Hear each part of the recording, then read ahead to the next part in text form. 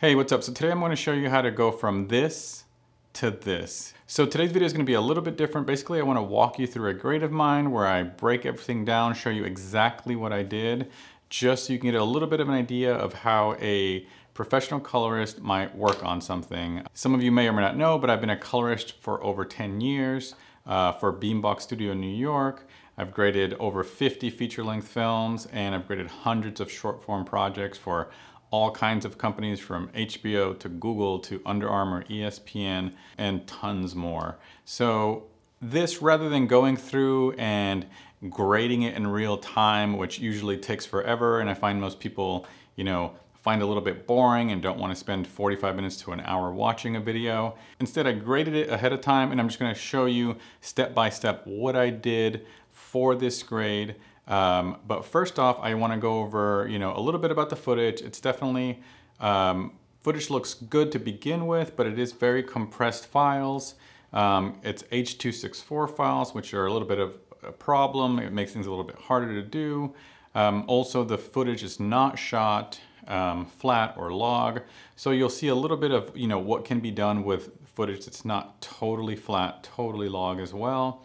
And then the look that was wanted for this is definitely something that's more on the prettier side, that's a little bit, you know, very natural, organic looking, a little bit cinematic, which you hear all the time with every single prompt you might get for a project. And basically something that looks very light and friendly. It kind of matches with the footage. So without wasting any more time, let's jump right in. Okay, so here we are, and just to get started, I wanna show you, this is the scene here, and we have our the node tree that I created um, to show you. And so what I'm gonna do is I'm basically gonna go through each one of these nodes and try to explain what was done for each one. Okay, so the first thing I did on this node here, which I just named base, is I just did a basic correction and I just made adjustments to the lift, gamma, and gain, which is a typical thing. And that initial adjustment looks like this. There we go. And I'm going to go before, after, very basic adjustment. And then from here, what I did is I called this highlights and I did this one in the HDR adjustments just so that I can uh, select very specific part of the image because like I was saying before, the prompt for this is that they wanted a very kind of pretty, natural, organic, kind of cinematic look to it. And these highlights here seemed a little bit too bright for me. So what I did is over here in the HDR highlights, if you click and hold here, now that it's on, you can see that if I click and hold on highlights, it shows you what part of the image was affected. And what you can see is just the sky there in the top left, the reflection on the water, the highlights in the leaves. You can see there. And again, this is the before and after. Before, you can see it was a little bit brighter over here. This is a little bit brighter and the highlights over here in this area. After, before, after. Okay, and again, color correction a lot of times is, you know, it's never really a single node where you're going to see this dramatic difference. It's building on small details that by the end, you end up with a great looking product. Okay, so again, I've just done the base, the highlights, before, after. And then from here, what I did is again, in the HDR window, um, color wheels, I just very slightly tweaked the contrast to kind of bring a little pop out of the image. And then also here in the curves, I adjusted the low soft. And for those of you that don't know what the low soft does, it basically takes the darkest shadowy blacks of an image and it will lift them up just ever so slightly. But rather than doing just like a very hard raising of the shadows, it adds a more natural organic roll off of the image. And so before after, and then I'll go into full screen so you can see it a little bit better. So before, after, you can see that before it kind of pops out the contrast a little bit. And then also to make up for that contrast pop where the shadows tend to drop, that's what I did the low soft for to kind of raise them and create a slightly you know, not a very heavy thing. It may be actually a bit tough to see over the compression, depending on, on your speed and the resolution of your monitor and things like that. But just to raise the shadows a little bit, give them a slightly kind of creamy look to them. Before, after, before, after, and then moving on. And so far you can see the image building. So this was an easy one. It's just the trees. I just wanted the trees to pop. There you go. Before, after before and after. And this I did simply by going into the curves, going into the hue versus saturation. I selected different parts of the trees and the greens, and then I just simply raised the saturation. And then from here, we made an adjustment on the dress just to make the dress pop a little bit more. This one's easier to see before, after, before, after you can see the image kind of coming together. And that was simply by keying the dress, applying a little bit of this blur radius to blur out the uh, key, which there we go. And then also denoising. And here we go. You can see the parts of the dress that I wanted to bring out, just kind of this area here, just so it kind of adds a little contrast to it. And again, before, after, before, after. Okay, and then we're moving along. And then also the way that I brought that up is besides the keying, I also drew a window around it and that is actually tracked a little bit. There we go. But that's basically it on the dress to get that effect. And then the next one after this were the skin tones, but also the dress. Uh, to me, it kind of had a little bit of a green, or at least on my grading monitor, um, a little bit of a green tint to it. Actually, this is the before, after. You can see the her skin tone's getting a little bit more pink, a little bit more natural. You can see how it's kind of washed out and has that green reflection on her skin before, after, before, after.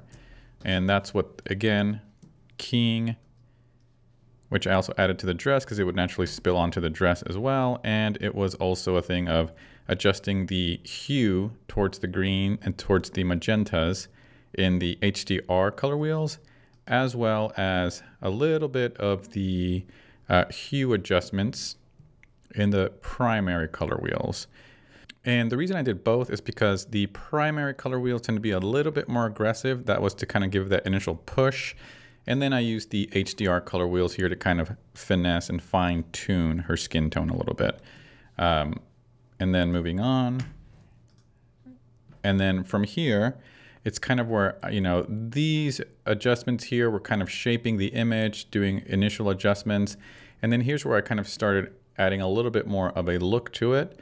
Um, and it was basically just warming up the image. This one's pretty easy. It may seem pretty heavy handed at first, but once you actually see it play in sequence um, and then kind of get away from it for a little bit and come back and see it with fresh eyes, this doesn't come off as heavy as it does now. And again, this is kind of, it was here, kind of green, muted, uh, doesn't have as much of a look to it. And then after, and you can see this is the next shot, which doesn't have anything on it, but before after that's pretty simple. And again that one was simply boosting the color temperature a bit in the HDR color wheels because it has a little bit more of a natural organic look to it. And then for the sky I added an OFX plugin called aperture diffraction um, where it kind of I wanted to kind of bring out the skies you can see kind of or really not just the skies but any sort of highlights that are in the image to give them this kind of like softer, creamier, frosty glow to them.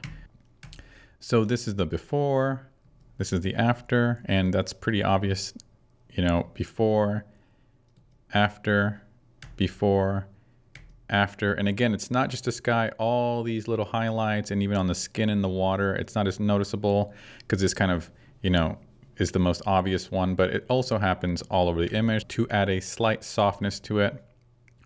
If I do it here, before, after, you can see it's kind of adding that little before, after, before, after, and really all over the image. And you can see it's starting to develop a nice look to it.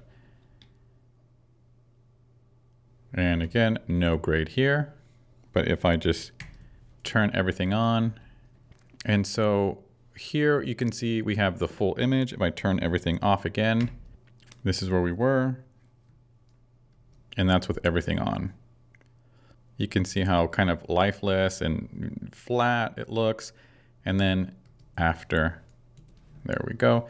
And then I wasn't quite done yet after doing the sky there. I then went into the timeline node and I added a little bit of what was 35 millimeter grain ISO 400.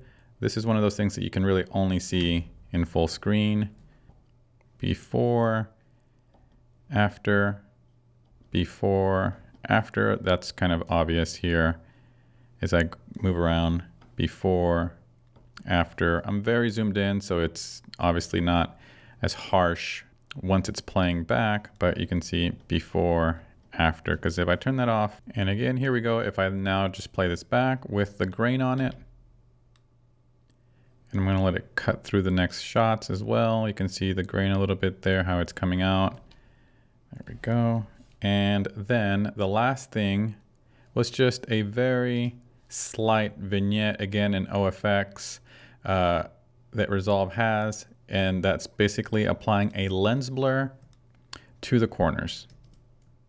So before, after, and it kind of helps boost that kind of organic, kind of older film look to it, kind of like these imperfect lens kind of look where I just blurred the corners of this lens.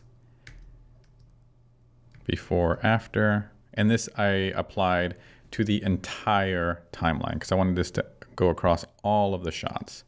And so now if I go here, you can see that all the shots I turned on the look. And now if we go to the beginning, and I'll play through this with the grain, with all the different nodes and the blur. This is kind of the final product. And of course I could keep going. There's other things that I would probably do. There we go. That's the end.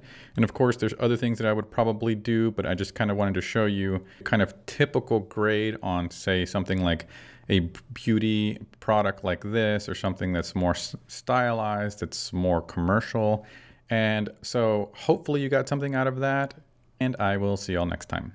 Okay, so that was it. I hope you learned something. If you did, definitely like, subscribe, let me know if you have any questions. Let me know what you want to learn in other videos below because I do read those and I do follow those.